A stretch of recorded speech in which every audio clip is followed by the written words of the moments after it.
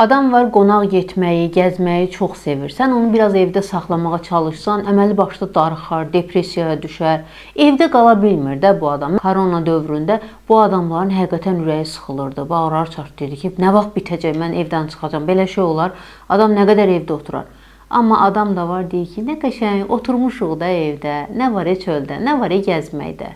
E, qonaqlıq nə üçündür? Qonaq gəlsin nə üçündür? Özümüz olaq, tək olaq, oturaq, kitab oxuyaq. Saatlarca bu adam tək qalsa da nə darıxır, nə narahatdır, nə depressiyaya düşür.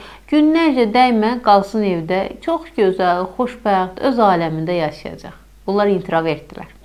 Amma evdə qala bilməyən, insanlardan uzaq dura bilməyənlər ekstravertdirlər. Yəni insanlar iki qrupa bölünür. Bəziləri introvert, bəziləri ekstravertdirlər.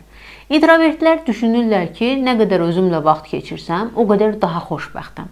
Bunlar bildiyiniz, yəni özləri ilə baş-başa qalmaqdan enerji alırlar. Həqiqətən. Bunların enerjisini artırmağı artmağı üçün sən bunlara imkan yarat, biraz tək qalsınlar, kitab oxusunlar, sakit olsunlar, çox danışdırmayın bunları və yaxud çox sual-cavab eləyəndə sıxılırlar, çox ora-bura gedəndə sıxılırlar. Amma ekstravertlər danışdırmırsan, əsəbləşir. Onunla ona diqqət eləmirsən, elə bilir ki, onu sevmirsən və yaxud ürək istəyir ki, səndən danışsın, dərdləşsin, problemini desin, kədərini bildirsin, aqressiyasını biruzə versin və yaxud sevinibsə, sevincini səndən paylaşsın.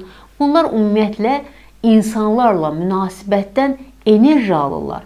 Doğrudan da yəni başqa bir insanla münasibət qurmaq, kontaktda olmaq, danışmaq, demək, gülmək, gəzmək bunlara enerji verir və özlərini xoşbəxt hiss eləyirlər. Görün bu iki e, dediyim insan növü bir-birləri ilə nə qədər fərqlidirlər. İndi bəzi valideynlər özləri ekstravert olanda, övladları, həyat yoldaşları əgər introvert olsa, başlayırlar ondan dalaşmağa. Sən niyə beləsən axı? Sən nə qədər neqativsən? Sən niyə danışıb gülmürsən? Sən niyə heç kimlə münasibət qurmursan? Və yaxud uşağı introvertdir deyir ki, sən niyə gedib öz yaşıdlarınla oynamırsan? Sən niyə bu qədər özünə qapanıqsan? Deyəsən bu uşağın depressiyası var, bu uşağın nəsə dərdi var. Belə şey olar. Bu uşaq niyə heç kimlə qoşulmur? Niyə heç kimlə danışmır? Və ya mənim həyat yoldaşım deyəsən məni sevmir. Çünki mənlə çox az münasibət qurur. Mən baxıram məsələn başqa ailələrdə belə deyil axı falan. Diqqət eləməlisiniz. Əgər bu sonradan yaranan bir şeydirsə, bəli, bu hansısa bir psixoloji problemdən xəbər verə bilər. Amma adam var, bunun xarakteri belədir, təbiəti belədir. Yəni bu adam əvvəldən belə olub əvvəldən bunu sevib və bu ekstravert və ya introvert olmaq heç də bir insan üçün qüsur deyil, neqativlik deyil və ya ekstravert olmaq da pozitivlik deyil. Bu bu insanın təbiəti və xarakteridir və bunu siz ailə qurmadan öncə mütləq buna diqqət eləməlisiniz.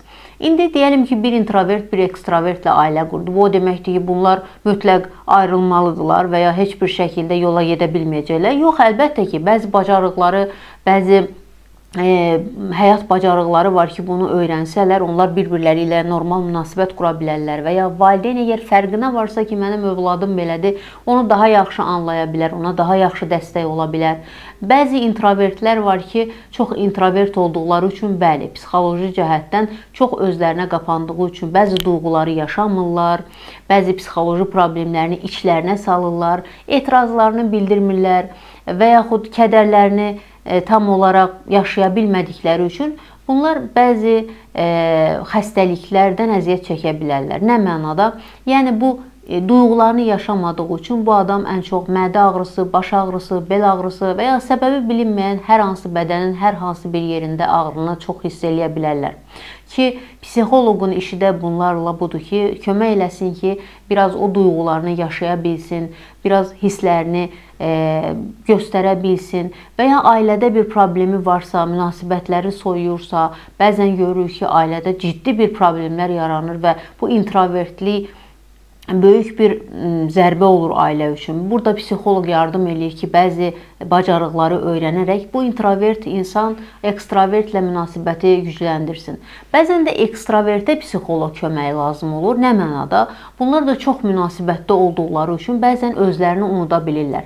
Yəni o qədər başları qarışır ətrafa, çevrəyə, dosta, tanışa, işə, ailəyə ki, unudurlar ki, özüm varam. Unudurlar ki, bəzən tək qalmaq lazımdır, bəzən kitab oxumaq həqiqətən lazımdır, bəzən özünə şəxsi olaraq, mənəvi olaraq vaxt ayırmalısan və özünlə baş-başa qalmalısan.